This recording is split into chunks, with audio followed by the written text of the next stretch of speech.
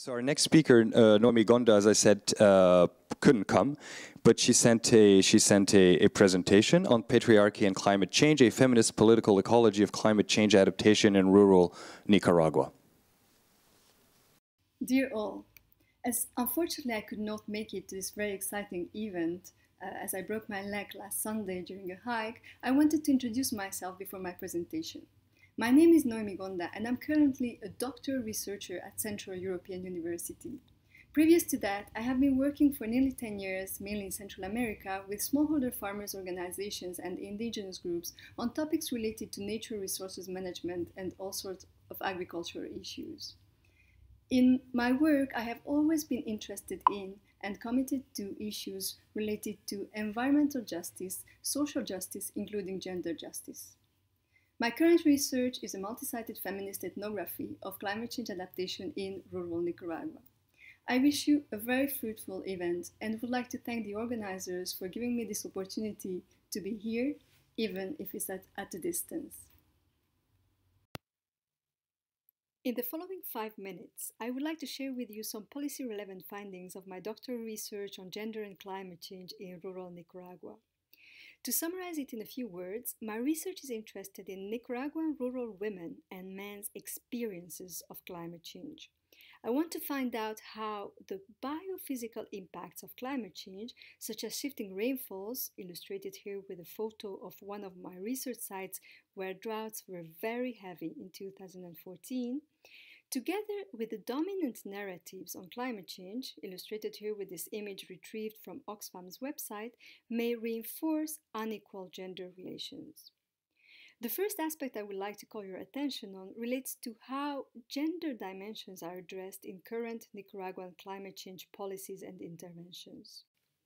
Nicaragua is one of the most climate change affected countries in the world, according to scientific assessments, illustrated here with a graph that shows the expected increase in average temperatures in Nicaragua between now and 2100. In this context, since the turn of this decade, Nicaragua has adopted climate change adaptation as one of its core priorities. However, Nicaragua has held a slightly different stance on climate change to the mainstream scientific one.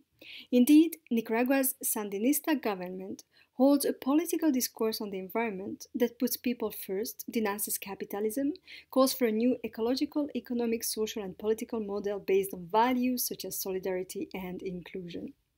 In particular, there's a special discursive visibility given to women seen as the potential saviors in the face of climate change, a stance that is also reflected in Nicaragua's national climate change adaptation strategy. Believe it or not, Nicaragua is also currently the sixth best ranked country in the world in terms of the Global Gender Gap Index, and in contemporary Nicaragua, numerous social and agricultural programs are directly targeted towards women. What lessons can be drawn from the Nicaraguan case? First, it is important to acknowledge that by making discursively omnipresent women, the Nicaraguan climate change policies do not talk about the necessary transformation of current gender relations.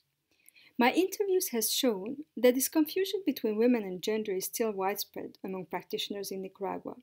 Often, while practitioners purport to be mainstreaming gender in their climate change strategies, in practice, they use a women in development approach and end up only talking about women.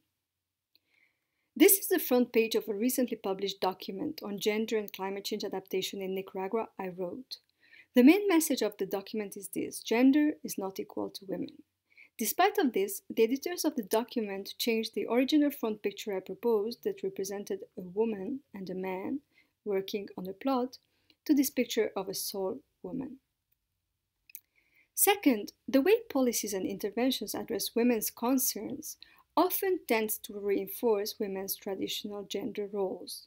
An illustrative example is the Nicaraguan climate change adaptation strategy. One of its line of action is environmental education.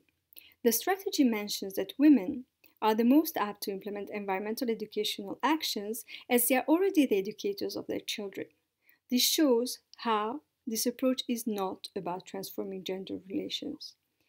Therefore, it is extremely important to recognize that in certain contexts, Gender biases conveyed by climate change policies and interventions are even more likely to deepen gender inequalities than climate change's biophysical impacts, such as shifting rainfall patterns. Numeric indicators of women participating in policymaking and projects on climate change do not always reflect progress towards gender equality. Nicaragua, the country with the highest participation of women in high political positions, is a striking example of this. It shows that working towards gender justice in climate change requires, in addition to women's participation, challenging the manifestation of existing gender hierarchies in policies and interventions.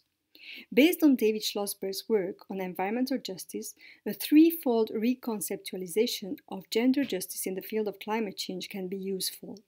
In addition to participation, there should be a major recognition of how existing forms of gender inequalities play out in climate change policies and interventions. In addition, there should be more attention paid to the unequal distribution of roles, responsibilities, and harms both in climate change interventions and narratives.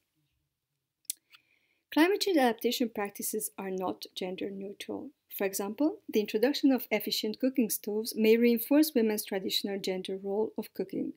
In the same way, convincing male cattle breeders to adopt cocoa production may be challenging for in a society that views cattle breeding as a more masculine livelihood. The challenge thus becomes promoting climate smart as well as gender smart practices.